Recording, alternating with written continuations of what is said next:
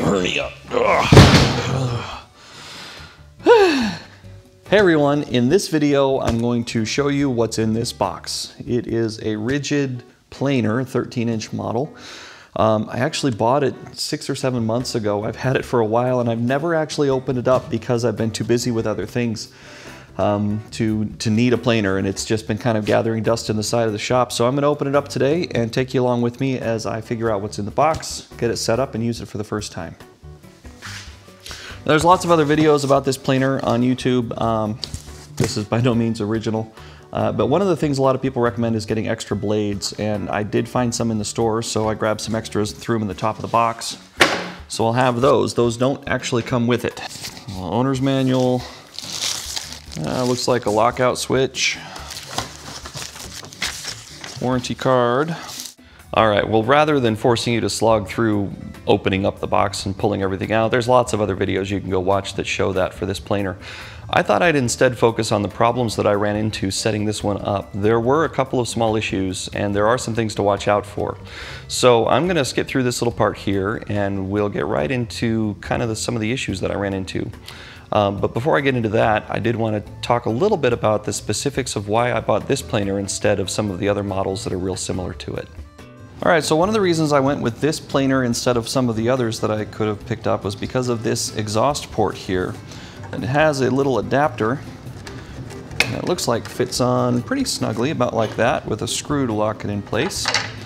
And this is gonna let me hook it up to uh, a shop vac, which is what I use for my dust collection, and be able to capture all the chips that come off so that it's not just filling my shop with sawdust. Now, of course, the unfortunate part is I don't have exactly the right size adapter. This is pretty close, but it's a little bit of a loose fit. So I might wrap some tape around the outside of this just to make it a little snug. Uh, but we'll, we'll give it a try and see what we can do. So some of the reviews that I watched on this particular planer indicated that right out of the factory it comes with some screws a little bit loose, some things maybe possibly misaligned. So it's a good idea to go through the entire thing and make sure that everything's tight and aligned and set up properly. I'm going to start by checking the in-feed and out-feed tables to make sure that they are flat and perfectly lined up with the planing surface.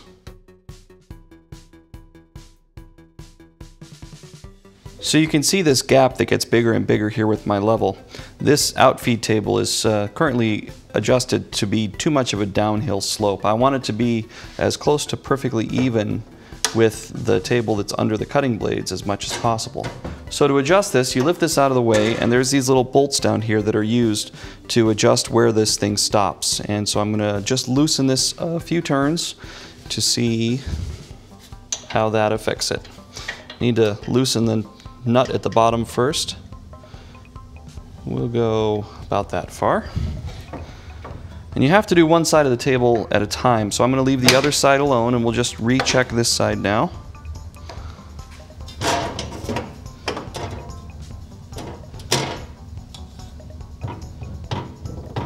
That is better, but it's got a little ways to go still. So we'll go up about a half turn. And now I am going to go ahead and tighten down this nut, which locks that into place.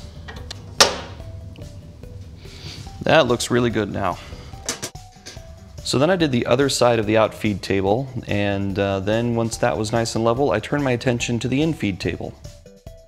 So I'm checking the alignment on the infeed, and you can see over on the one side, over here, it looks like it's a pretty good alignment. But the farther over to the right you go, the more off it gets, to the point that that's a good quarter inch, almost 3 eighths of an inch, of differential between the infeed and the cutting surface.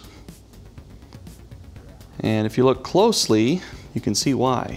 Right here at the right edge of the cutting surface, you can see there's a little tab. And that little tab is supposed to be down in that little slot, but it's sitting up on top.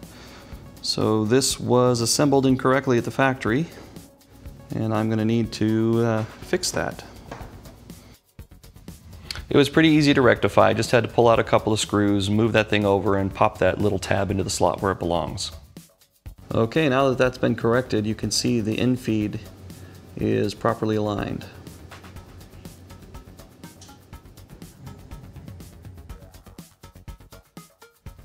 Okay, so now that I've corrected the misalignment between the infeed and the cutting surface uh, table, I can use the same process that I used on the outfeed to level up the infeed table to make sure that it uh, is perfectly in line with the cutting surface. Okay, those are lined up nicely now. Let's check and make sure the blades are tight.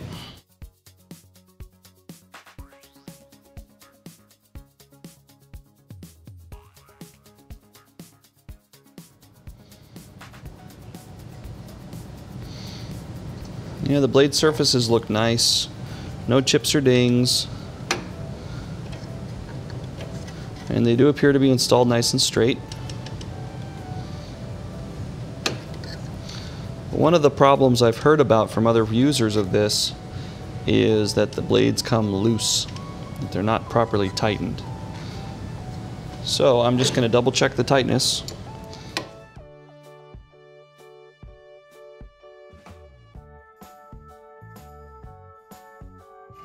Okay. That all looks pretty good in there. I'll put the cover back on. I think we're ready to test it. So a friend of mine gave me some of this rough cut pine and I think I'm going to try and make him a little something out of it to say thank you. He gave me a whole bunch. So we're going to start by planing down this little piece and uh, just see how it does. So you'll see my dust collection hose keeps coming out and causing me a little bit of grief. And uh, I am going to have to make some adjustments to that and I'll talk about that here in just a minute. But first I wanted to talk a little bit about the usability of this planer. It's, it's quite easy to use. The controls are well placed. Uh, it's not as loud as I was expecting, which was nice. And uh, it does a nice job feeding the, the board through and making nice deep cuts if I wanted to.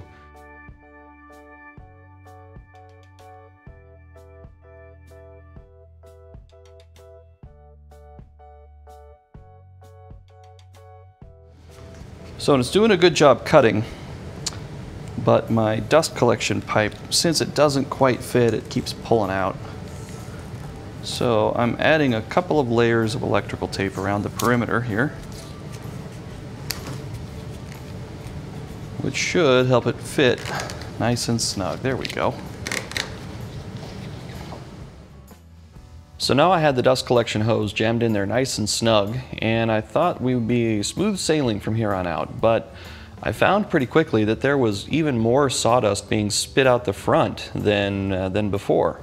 And I couldn't figure out what exactly was going on. I thought maybe the vacuum was full, but it wasn't. So after a little bit more investigating, I discovered that actually it had just gotten completely clogged, where it reduces down from the, the two or two and a half inch port down to the one and a half inch hose that I've got here. It was just getting completely clogged up. So I'm gonna have to do a little bit of an upgrade to my dust collection, and I've already planned that project. If you haven't subscribed already and you're interested to see what kind of a do-it-yourself dust collector I come up with, go ahead and hit that subscribe button. So anyway, once I got that cleared out, as long as I made fairly light passes, I didn't have any more problems with it getting clogged.